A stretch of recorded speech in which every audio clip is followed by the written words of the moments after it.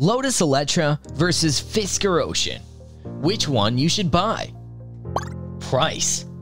The latest Lotus Eletre all-electric crossover has at least 592 bhp, a distance of up to 373 miles, and a base price of roughly $120,000. The revolutionary SUV will be manufactured at a new cutting-edge factory in Wuhan, China.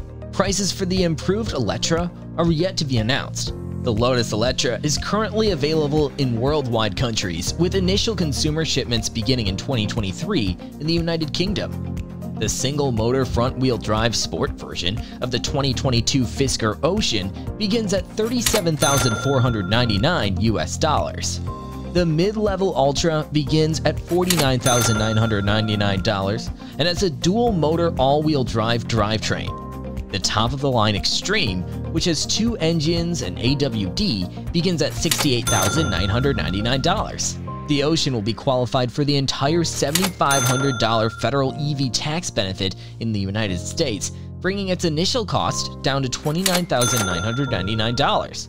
Nevertheless, most individuals are unable to take benefit of the credit owing to their unique tax status, so consult with a tax specialist for more information. Design and quality. The Eletre has roguish, coupe-like roofline and a strong forward-leaning snout. Lotus architects are definitely drawing on their previous expertise creating elegant sports vehicles. The dimensions, on the other hand, are definitely SUV-like. The hefty carving of the front door to enable air to circulate through the outlet on the trailing edge of the front bumper, as well as a noticeable haunch over the back tire that lifts to reach a roofline that smoothly glides away from the sharply slanted A-pillars dominating the side profile. The Eletre will be constructed on Lotus's revolutionary electric luxury infrastructure, which is a low-to-the-ground skateboard design that can support a variety of battery capacities, engines, constituent configurations, and smart operating systems. The appearance of the Ocean is rather clean for a crossover, and the style is contemporary and well adapted to an electric vehicle. It's a massive automobile, and the large 22-inch wheels provide it show car dimensions. The bend in the back doorway and the extra LED lighting in the D supports are also appealing. The Ocean may also have a black top with solar panels. The EV's California option, which enables you to drop 8 glass screens with the press of a solitary switch, can be activated with the press of a button. It doesn't transform the Ocean into a convertible, but it gets close. In terms of the powered glass top, the Xtreme 1 trims have solar screens, which are estimated to give 1500 to 2000 miles or 2400 to 3200 kilometers of extra mobility per year, dependent on conditions. The Ocean is as clean and sophisticated on the interior as it is on the exterior, and Fisker employs substantial use of recyclable resources like recycled plastic containers. The Ocean features a simplistic design that is balanced by certain simple settings, and it is covered with reused elements that support environmentalism. Its cockpit features a thin digital gauge panel and beautiful elements that run across it, in addition to a huge touchpad that turns on all except the basic variant. Performance Lotus is highlighting the driving characteristics of its upcoming electric SUV, as befits its racing car heritage. The modern Eletre boasts four-wheel propulsion, a battery storage of about 100 kilowatts, and a maximum power of 441 kilowatts or 592 bhp. A 350 kilowatt charger, according to Lotus, can provide 248 miles of mileage within only 20 minutes. It also has the capacity to take 22 kilowatts AC charging as default, which, if accessible, decreases the duration connected in S the optimum WLTP operating range of the automobile is 600 kilometers or 373 miles.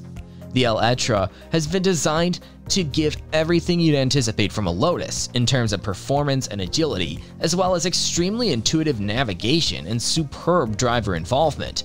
From a technical standpoint, we know the entire globe is watching, so we've been obsessed with having it all just perfect. The Sport version is the main gateway into the 2023 Ocean portfolio, with a solitary electric engine controlling the front wheels. With 275 horsepower on board, it should go from 0 to 60 miles per hour in 6.9 seconds. The Ultra as well as Xtreme, as well as the limited edition one, use an independent engine on each wheel, resulting in all-wheel drive. The fastest variant, with a full unit power of up to 550 horsepower, is expected to sprint from a standstill to 60 miles per hour in 3.6 seconds. Seats and space. However, simply though the Eletre can rip it up on the road doesn't imply it's not designed like SUVs. The five-door vehicle will be pretty tiny with all-wheel driving, however, it will nevertheless carry a great deal of energy, along with a battery size of more than 100 kilowatts and 600 horsepower. The Eletre is capable of 5-seat or 4-seat arrangements, with quality, very resilient man-made microfibers on the key interfaces and an innovative wool blend material on the armrests. The solid edges are carbon fiber, with the fibers clipped from the border of weaved carbon fiber sheets employed everywhere by Lotus. Fisker claims the Ocean will sit five people comfortably in two rows.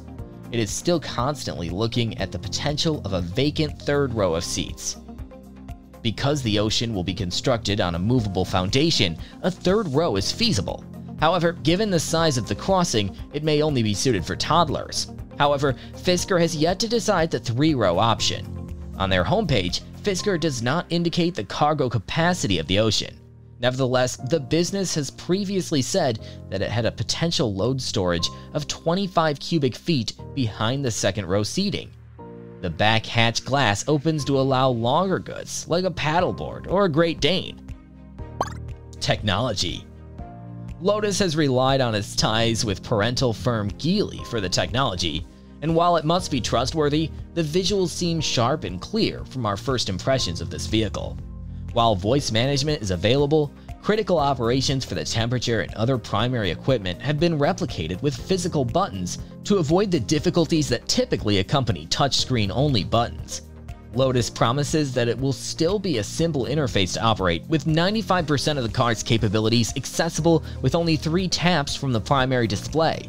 Over-the-air software upgrades are feasible with 5G capabilities, which the company says will let consumers to acquire additional technologies to be unlocked by software as they become accessible.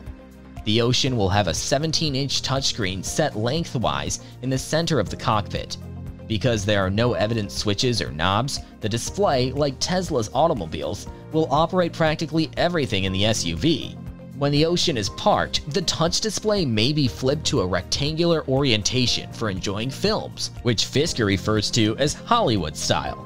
The Ocean will offer mobile application connection with Apple CarPlay and Android Auto. The Ocean will also come with a mobile application that lets users connect with the car immediately. The application may be utilized as a key, and it will also serve as the major resource for arranging service sessions. According to Fisker, the Clever app provides a variety of beneficial capabilities, such as vehicle tracking, wireless temperature controls, and the capability to automatically locate the car. Pros of Lotus Eletre An all-wheel drive is an option. The vehicle's easy-to-drive character is complemented by an impressive selection of driver assistance features and predictions of favorable fuel efficiency. Cons of Lotus Eletre the steering has a lack of driving sense and can be slow to adjust, and interior design is uninspiring. Pros of the Fisker Ocean A relaxing ride. Cabin amenities and decor have been improved, and there are several basic safety and technological features.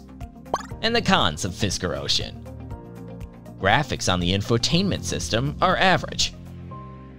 Our verdict as new versions enter the marketplace, the tide is changing for electric automobiles.